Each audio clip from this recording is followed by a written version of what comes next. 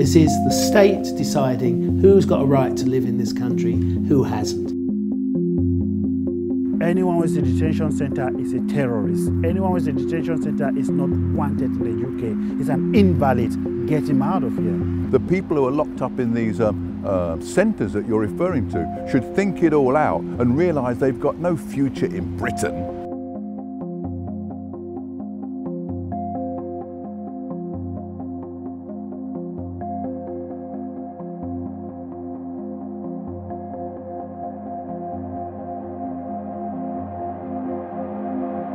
2017, that was last year, I was arrested. I mean, you're detained when you go to sign. You're trying to comply with the immigration bail conditions that have been given you, one of which is signing. I started asking questions. Are you going to lock me up? They were like, no, no, no, don't worry. Just 10 minutes. We'll take you to the station. You are going to sign and you're taken, detained, arrested, put in a van that has no windows and you're driven to somewhere you have no idea, your family has no idea. At 5.30 they came to me, you've been detained, and that was when my whole, I don't know, it's like my body left, my spirit left my body, I don't know how to explain it. I started crying, what now? So can you explain for us what are immigration detention centres?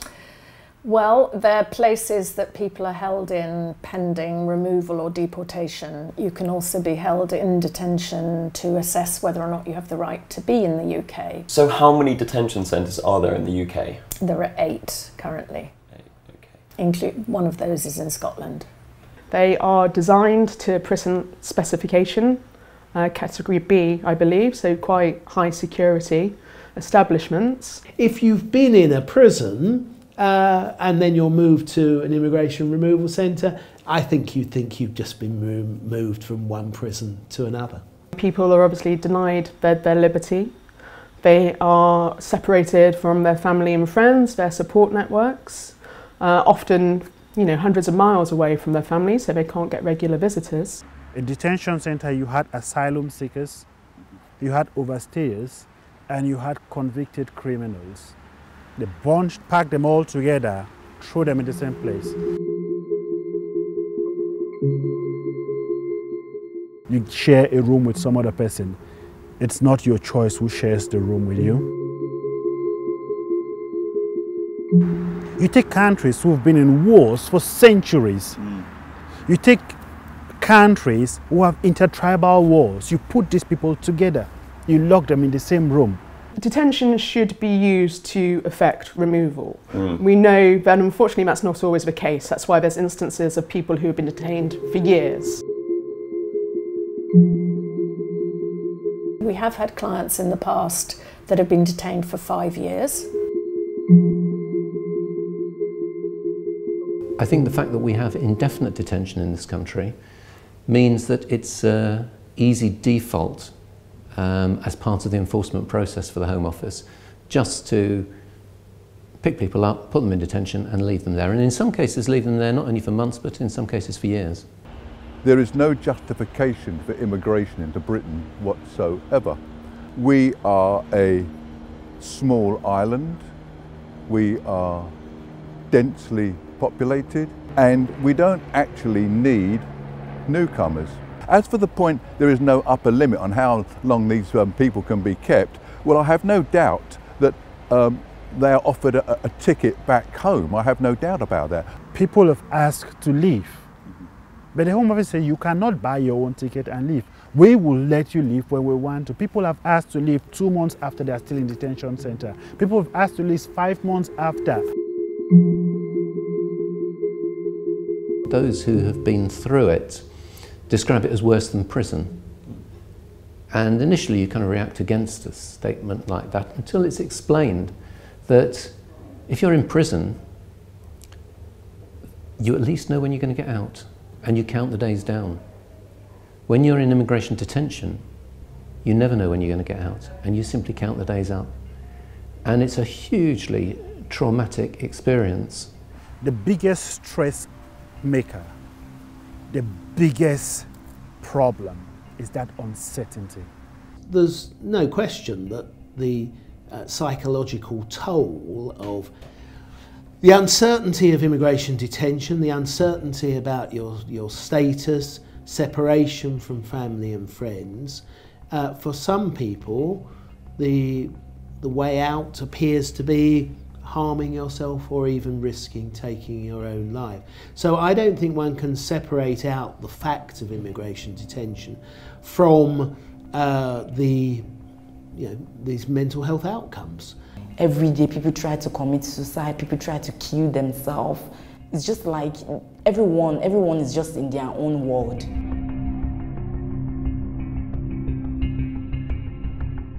There is this policy that the Home Office um, has in theory, which is around the intention was to reduce the detention of vulnerable people or adults at risk, including survivors of torture and rape. But what we see in practice is that this just isn't working and that vulnerable women, women who've survived rape, women who've survived torture, women who've survived trafficking are still routinely being locked up. When I first started visiting Yarlswood Detention Centre, the government locked up around a thousand children a year.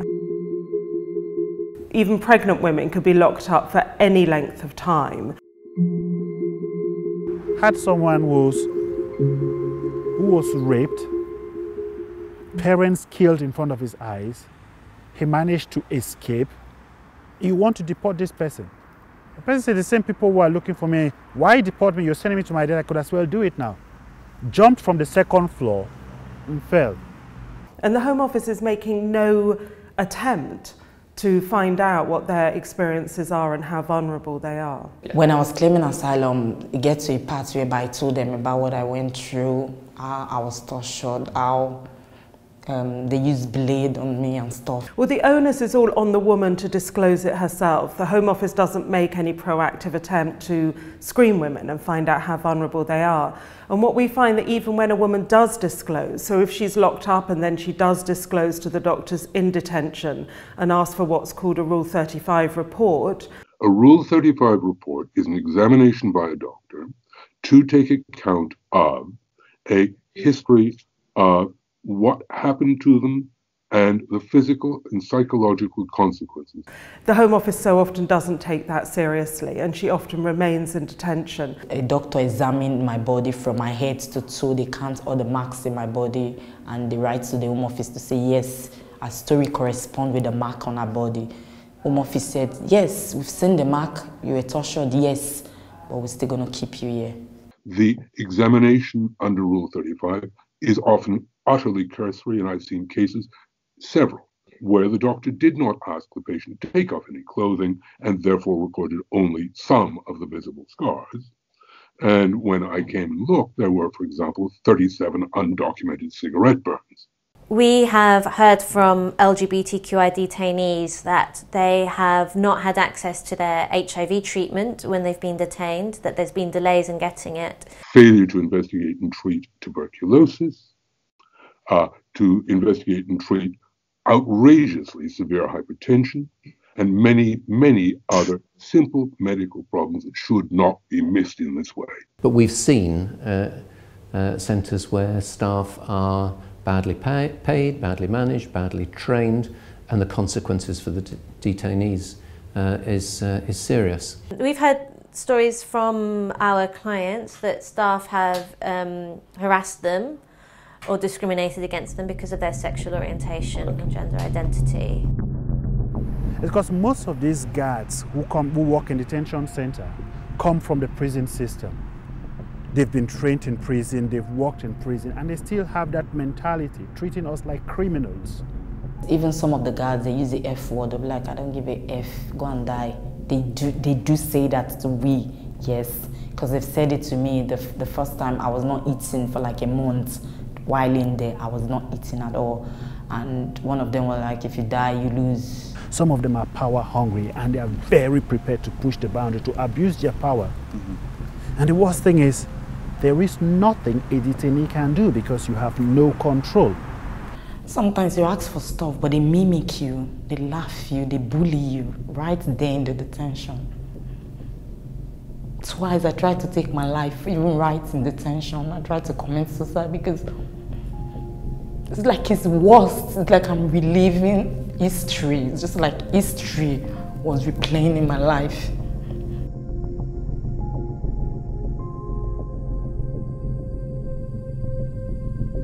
And we know that even the, the people who were not allowed to work when they were at liberty, they are in fact put to work in the detention centre and paid only £1 per hour.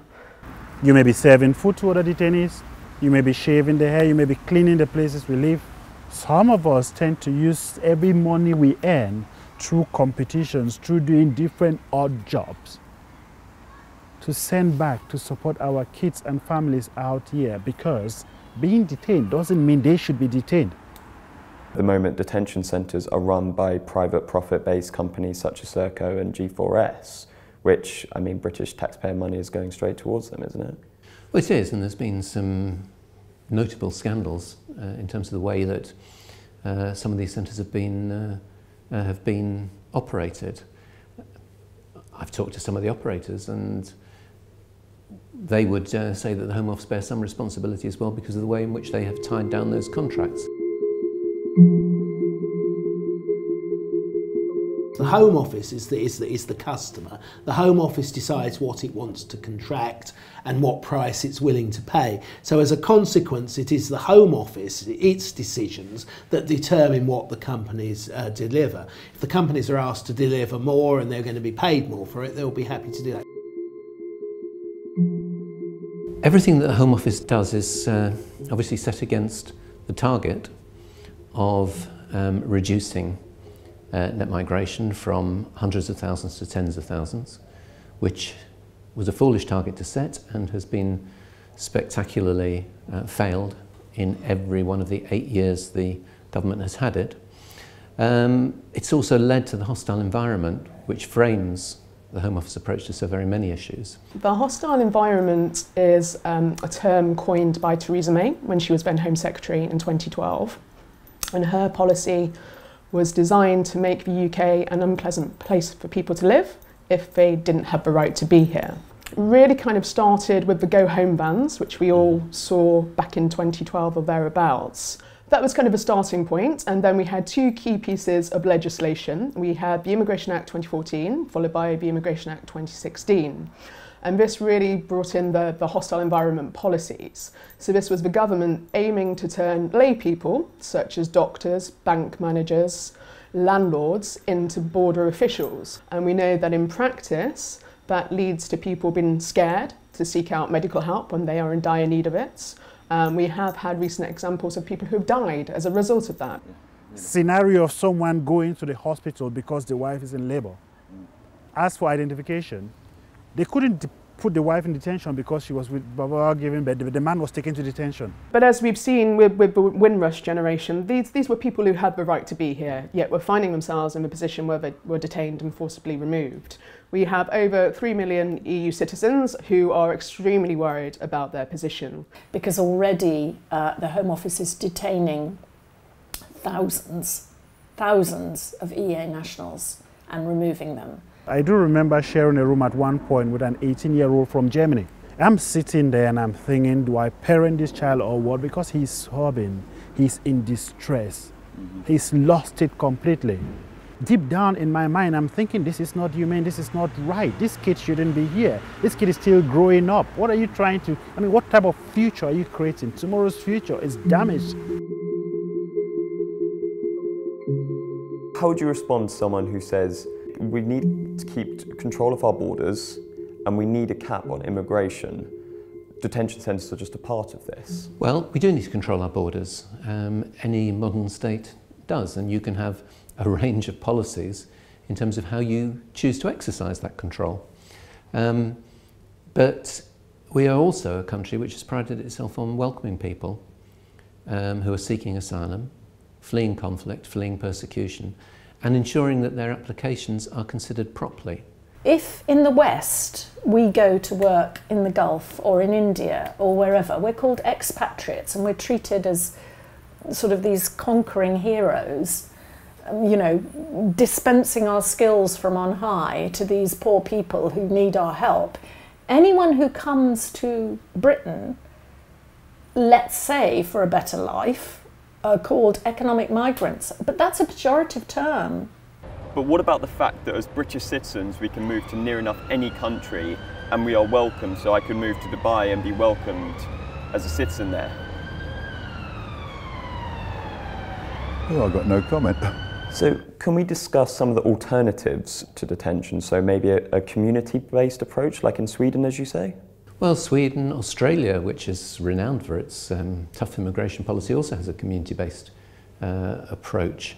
Um, and what that basically means is that instead of as a default banging people up in an immigration uh, detention centre, um, you are working with them in the community, supporting them in the community uh, to during that period in which their case is being considered. And what we found was that not only is that more humanitarian approach, um, which reflects our values uh, better, but it's also more effective. If only half the people in detention are removed, um, I think we ought to be able to show that half the people who are subject to alternative detention can be successfully removed as well. But I now have my leave to remain granted by a court. Why was I nine months in detention center when my story hasn't changed from the day I was taken in?